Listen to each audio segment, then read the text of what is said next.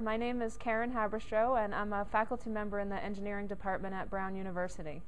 Um, I'm also a program chair for the BMES meeting in Hartford in 2011, so I'll be responsible for the scientific content of the conference.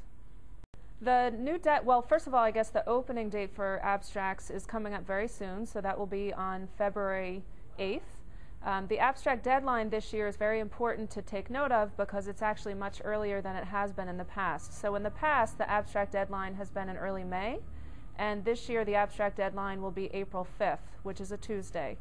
Um, and one of the reasons that we're pushing that abstract date forward is to make sure that um, we have plenty of time for the review process and to make sure that we have a, a solid review process. In terms of the abstracts themselves, um, again, they're, they're different from in the past. In the past, you probably remember that the BMES abstracts are more on the order of a paragraph in length. Um, this year, the abstract is more like an extended abstract, so one page in length. And it's really like a condensed paper that you might submit for publication. So we're asking people to include an introduction section, materials and methods, um, results, and also a conclusion section.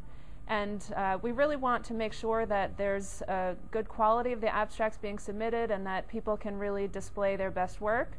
And that's often difficult to do in a short one paragraph format. So we've moved to this one page format to allow um, the researchers who are submitting their work to really be able to showcase um, their best data, their best results, and to talk about that in the context of, of society.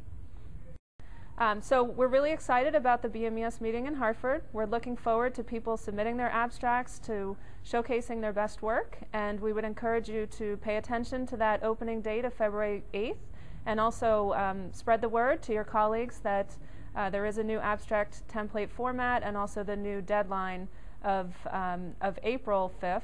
And again, we look forward to receiving your abstracts and seeing you in Hartford.